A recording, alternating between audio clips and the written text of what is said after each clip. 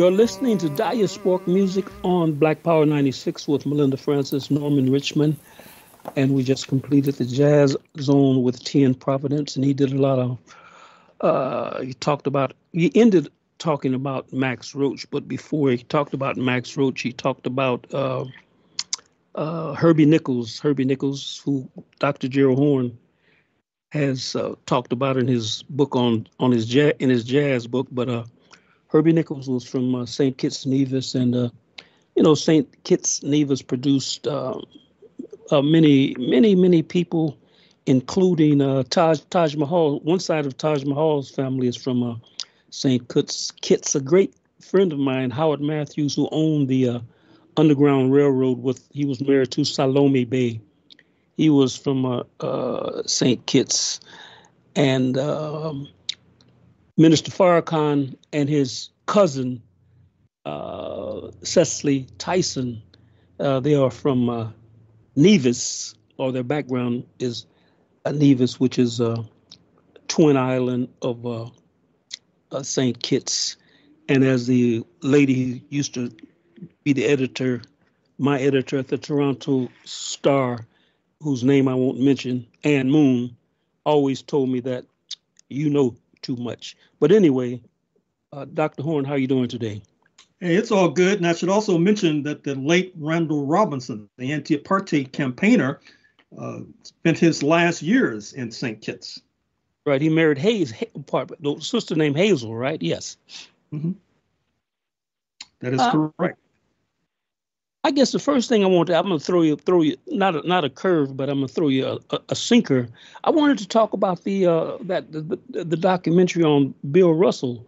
I was watching it last night, and I'm I have always been fascinated with uh, with Bill Russell. Uh, you know, Bill Russell. The a lot of people don't know that he was a uh, he was a great uh, track and field man. He he was a high jumper. Uh, he, he was a, what he was like was that Jimmy Castor song. He Jimmy uh uh Bill Russell was an E man. He could almost do anything. Or would you agree with that? Well, for those who may not be familiar, Bill Russell was a black American, six foot ten inches tall, grew up initially in Monroe, Louisiana, before migrating to Oakland, California, and then to the University of San Francisco, where he starred in basketball I think they won 55 straight games and then migrating to Boston, where he starred for the Boston Celtics professional team. Even though Michael Jordan is oftentimes viewed as the premier hoopster of all time, having won six championships, of course, Russell won 11 championships, two as a player coach, by the way, which is something that neither Michael Jordan nor LeBron James have been able to do thus far. And Bill Russell was something of a political activist. Uh, that is to say, that he uh, campaigned on behalf of Muhammad Ali when he got into hot water for not wanting to enter the U.S. military so that he could be sent to Vietnam. Uh, he campaigned against U.S. apartheid, Jim Crow, and he faced enormous pressure in Boston. Now, for those who may not know, uh, Boston has a lingering reputation as being one of the worst cities in terms of racism in the United States of America, which may come as a surprise to those who see it as a town of cosmopolitan flavor, the Athens of the US, as it's called. But not so for Russell. Uh, he tells anecdotes about when he would be playing games, there would be break ins at his home with racists leaving feces in his bedroom, on the bed, in fact. And I have to say that Russell had this habit of regurgitating before games. And I connect that as a non clinical observer to the stress that he was under uh, in Boston for all those many years. And of course, he died a year or two ago at the age of 88, and his legacy lingers on. And uh, last thing about him, his brother is Charlie Russell, who wrote the was a was a playwright. He did the film uh, uh, Five on the Black Hand side, which was uh, the music was done by an old comrade of mine, H.B. Barnum. Mm-hmm. And um, Melinda, you want to lead the questions off? Yeah, let's get into it. Let's talk about the TikTok ban. Well, this is very curious. TikTok, TikTok, excuse me, is an app. Uh, it's wildly popular in the United States, particularly with our youth. And what's curious is that there is now a de facto ban on TikTok in the United States because of so-called, so-called national security reasons, even though President Biden himself has used TikTok in his campaign. So I'm not sure what that says about him as a, a possible a vector for Chinese propaganda. But in any case, I think it represents a wider and larger trend, not only with regard to growing U.S. hysteria about the challenge provided by China.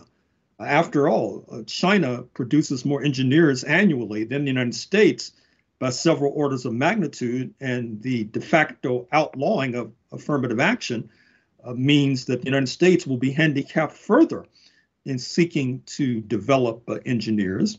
Uh, China is also in the passing lane with regard to solar energy. I, I dare say that if the North Atlantic countries tend to move away from solar energy, it may have something to do with the fact that in order to pursue that field, they'll be dependent upon solar panels from China, uh, which will heighten their dependency upon this country ruled by a communist party. And of course, electric vehicles, BYD, which we've mentioned before, is now eating the lunch of Tesla.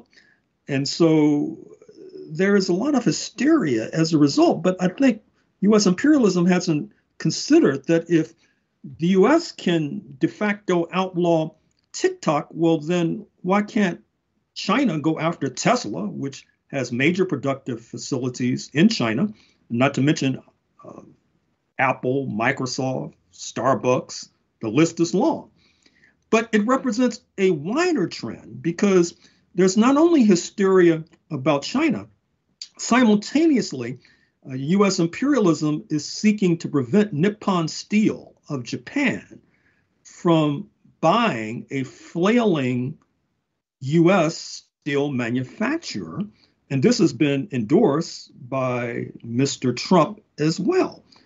And it seems to me that if the US is going to cross swords with a major Japanese manufacturer, it makes me wonder how they're going to enlist Japan in Cold War II against the People's Republic of China. And what this illustrates is that US imperialism has these mantras about the free flow of capital and the free flow of ideas, but they really don't mean that. What they really mean is a one way street.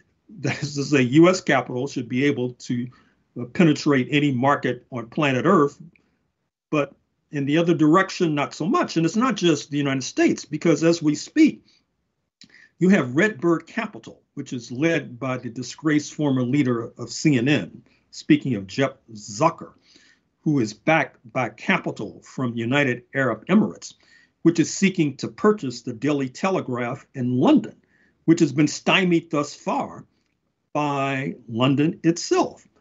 And once again, uh, this has many in the UAE rather upset they're wondering the same thing I'm wondering uh, whether the free flow of capital is a one way street. And what this really illustrates, uh, it seems to me, is the heightening contradictions that are currently enmeshing US imperialism as it enters its terminal stage of decline. It's tossing overboard uh, many of its mantras and revealing itself to the world in a way that the more sagacious amongst us have already sensed that it basically is bent and determined on global domination. And any who seem to get in the way of that project be it a China ruled by a communist party, or be it a Japan ruled by the Liberal Democratic Party, a member in good standing of the capitalist elite, or be it the United Arab Emirates, which is seeking to climb the greasy pole of capitalism, if they get in the way, uh, they will be blocked. However, US imperialism in its terminal stage needs allies more than ever. But I don't see how that's going to be accomplished with this kind of double standard. Uh, you are listening to Diasporic Music on Black Power 96 with Melinda Francis Norman Richmond, and we are in conversation with Dr. Gerald Horne. Uh, could you ask the question, or could I a- ask you the question, why has the Democratic Party, specifically uh, Joe Biden, uh, criticized or semi criticized uh, Benjamin Netanyahu in his role? uh, uh, has criticized him. Could you talk about that? Well, not only uh, Mr. Biden, but the leading Jewish American official. Speaking of Senator Chuck Schumer of New York State, the Senate Majority Leader, uh, he gave a lengthy speech just the other day, uh, basically suggesting that Mr. Netanyahu has lost his way, his words, not mine, calling for new elections and by the way, he also called for a change in leadership of the Palestinian Authority as well, uh, which I think is fair to say was rather arrogant. At, at, least one can say that, given the fact that Mr. Schumer has carried so much water for Israel, that he has some authority with regard to calling for internal changes in their political setup. But he's been an enemy I think it's fair to say, a Palestinian. So I'm not see I don't see what gives them the authority or the right to do so, to call for a change in leadership in the Palestinian Authority. But I think what this reflects is what I was just talking about a moment ago, which is the geostrategic decline of U.S. imperialism, which has been heightened and exacerbated by the genocide in Gaza executed by Mr. Netanyahu and his comrades, which is leading to severe reputational damage for the North Atlantic camp. And this is seen by the reality that the foreign policy coordinator of the European Union, speaking of Joseph Borrell of Spain, has been much more critical of Israel than his counterparts in Berlin or Paris or London the Irish, and I think this is important to mention on St. Patrick's Day, uh, their leadership also has been critical of Israel. I think that the fact that historic Palestine and Ireland share a similar colonial heritage in terms of being oppressed by London may shed light on that. And so, what's happening is that US imperialism is beginning to suspect that Israel is an albatross around the neck of US imperialism, that it's no longer the unsinkable aircraft carrier in West Asia that it was thought to be when a younger Joseph Biden suggested that if Israel did not exist, the United States would have to invent it. Israel, because of its ham fisted approach to Gaza, has hampered the ability not only of the United States to focus on Russia, but to focus on China as well. And for those who feel that the relationship between Israel and US imperialism is so intertwined that uh, there is no daylight between the two, well, I understand that sentiment, particularly given the role that Zionist billionaires play in funding the Democratic Party and the Republican Party as well. I'm thinking of the Adelson family of Las Vegas, heavily invested in casinos, but also casinos, casinos in Macau uh, under the administration of the People's Republic of China, which in some ways is outstripping Las Vegas and Nevada as a whole. And of course, uh, the leaders of Persian capital, including Bill Ackman, who contribute to the Democrats and helped to bring down uh, Claudine Gay, the first black woman president of Harvard University. But that needs to be weighed against some of the major debacles of U.S. intelligence. Uh, speaking of the Jonathan Pollard incident of some decades ago, when this Jewish American analyst for U.S. intelligence sent massive files from the United States secret cache to Israel, which was said to have compromised greatly U.S. intelligence during the Cold War. He served a lengthy term in prison before being released to Israel. And the Jonathan Pollard case illustrates how, at times, Israel and U.S. imperialism are not on the same page, that their interests diverge. And we've mentioned on this program more than once the fact that Israel has been known to leak U.S. intelligence to the People's Republic of China or U.S. military technology, which is not a favorite uh, of the Pentagon, that kind of activity. And so you see this, this uh, increasing rift between Israel and the United States, not uh, advantaged by the fact that the so called Abraham Accords negotiated by Mr. Trump, which led to Sudan and Morocco and Bahrain improving relations with Israel, including the UAE, United Arab Emirates, besides. But now the Abraham Accords are unraveling, and this too is a concern for U.S. intelligence and the Pentagon and the White House and Senator Schumer. And in that context, recall that just a few days ago, the leader or a leader of the war cabinet, speaking of Benny Gantz, who is a genocidaire himself, but once Mr. Netanyahu's job, uh, came to Washington to the consternation of Mr. Netanyahu. There, it's no secret that the U.S. administration feels that Netanyahu is damaged goods. They would like to replace him with Benny Gantz, although I'm not sure if that'll be a net plus for the Palestinians. Mr. Netanyahu will not go away quietly. He's already criticized Mr. Schumer. He apparently, thus far, is not calling for new elections. Expect him to turn up in the United States speaking before Republicans. And he's done that before. Recall that during the Obama years, when Mr. Obama was trying to negotiate a nuclear accord with Iran, Mr. Netanyahu came to Washington to denounce that accord. And so we see that this rift is deepening. And in fact, if you look at what's happening in this hemisphere, you get a further glimpse of that. I'm speaking of the fact that the President Lula of Brazil has spoken in very harsh terms about the genocide, echoed by President Petro of Colombia, who's spoken in similar terms about the genocide in um, historic Palestine.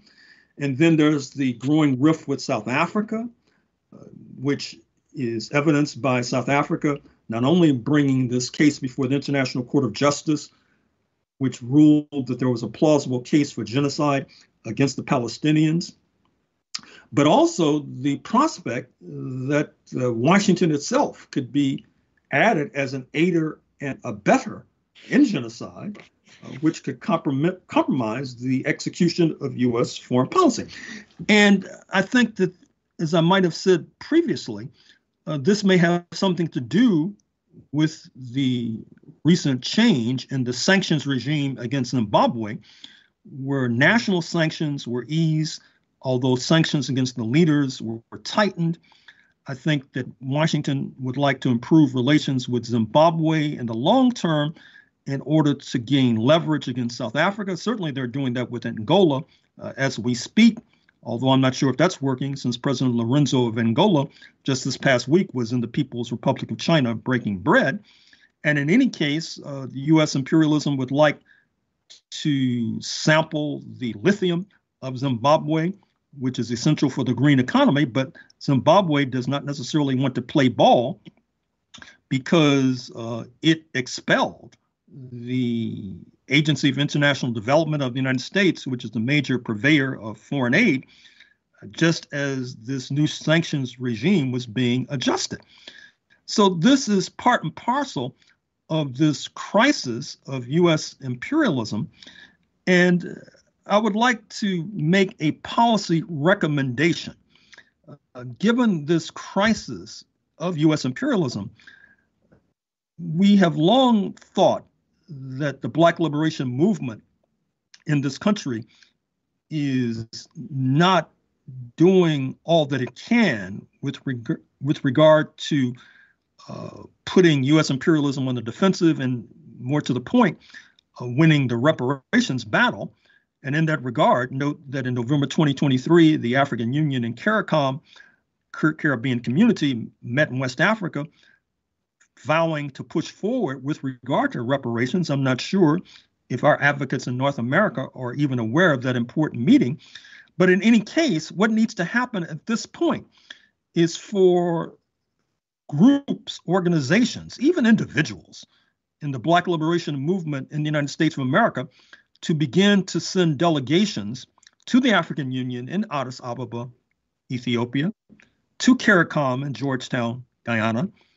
Uh, and if they're a bit nervous about going to China and Russia, well, go to Japan because there has been an historic relationship, that is to say, in the first few decades of the 20th century and the latter decades of the 19th century, between our movement and Tokyo, of course, that went up in ashes with the bombing of Hiroshima and Nagasaki, but with the contradictions between Tokyo and Washington already enunciated, this might be a, an opportunity to do so. And likewise, uh, we should not ignore the contradictions between the European Union and the United States, evidence in Ukraine, evidence in the battle between Boeing of the US and Airbus of the EU.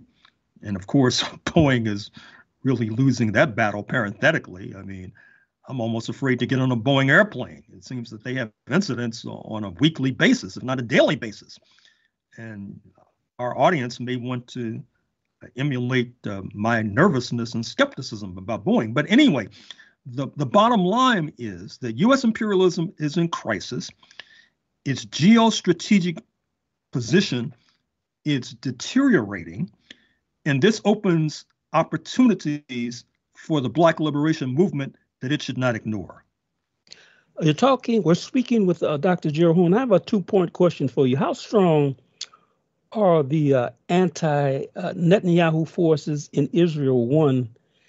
And could you talk about the uh, collaborators with, with Zionism, specifically uh, Mr. Hakeem Jeff- Jeffries, who is uh, the nephew of Leonard Jeffries, a, a Afrocentric scholar, and uh, uh, I think he was one time he was a man who led a. He talked about white people being the ice people and so on and so forth. And uh, could you explain uh, uh, what is what is Hakeem Hakeem Jeffries is the, is the, the leader of the opposition in the Democratic Party? Am I right in saying that? He's the speaker in waiting, which is one right. of the leading positions in the political structure of U.S. imperialism. He's from Brooklyn, as you noted. He's the nephew of Leonard Jeffries. And it would not surprise me at all, to be frank, if the U.S. intelligence and the FBI might have done something, such as go through the student newspaper at his undergraduate college, speaking of Binghamton University in upstate New York, and might have found quotes from Mr. Jeffries about his uncle that could be quite compromising. It, re- it reminds me of uh, Askia Muhammad, the late commentator on WPFW in Washington, writer for the Nation of Islam newspaper. He had these photographs of Obama with Farrakhan, both smiling from ear to ear, that he hid until Obama left office. And it would not surprise me if Hakeem Jeffrey says something in his closet as well. And of course, being from Brooklyn, with New York State and New York City, and Brooklyn being the epicenter of Zionist activism, it should not be a surprise that he and other Black New York politicians, such as Al Sharpton and Mayor Eric Adams, uh, Gregory Meeks of Southeast Queens, the ranking Democrat on the House Foreign Affairs Committee, are all in the tank uh, for Zionism. Now, with regard to anti Netanyahu elements, the, the problem, or a problem, I should say, in Israel, is that the populace, the electorate, has swung to the right. in the aftermath of October 7th.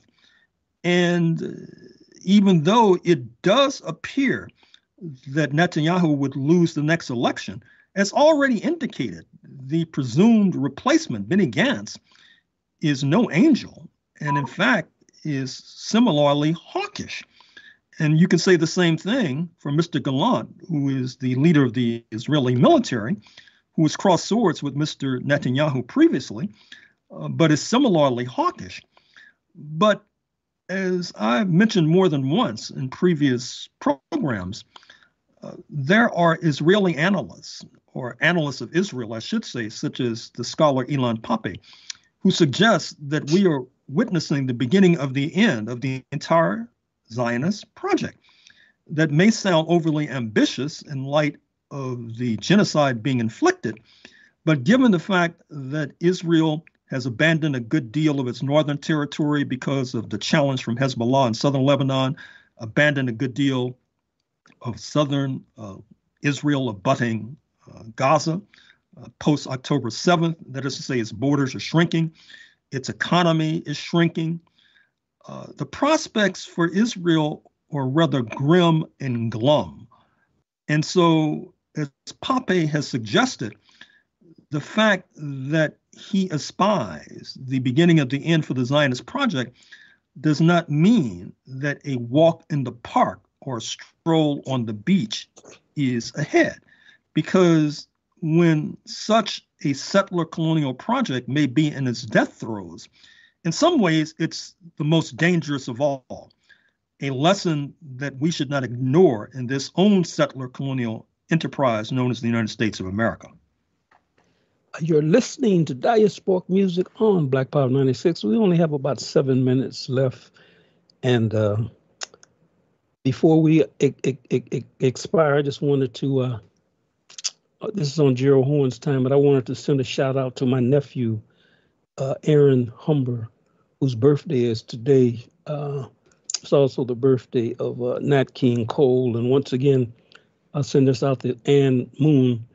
Uh, my uh, uh, Aaron is named uh, Aaron's mother is named uh, Lorraine, and she was named after Nat King Cole's song "Sweet Lorraine." So, if you're listening, Miss uh, uh, Toronto star Miss Moon, I still I still like to show off that I know a little bit about uh, my own history, my own culture, and uh, Another question, Melinda? Um, well, we we're running out of time. Where do we want to start? Do you want to talk about maybe um, talk about um, Boeing and um, China, um, China's Airbus? Well, I mentioned before that U.S. Boeing and European Union Airbus are battling for global markets with regard to commercial airplanes. But coming up from behind is COMAC, C O M A C, of the People's Republic of China. And if electric vehicles are any indication, Boeing in particular has something to worry about because I've already mentioned the fact it's designing planes that are crashing. Uh, you might have seen this scene from a Boeing plane where a door flew off in midair, believe it or not and it's de- dealing with emergency landings on a regular basis, believe it or not.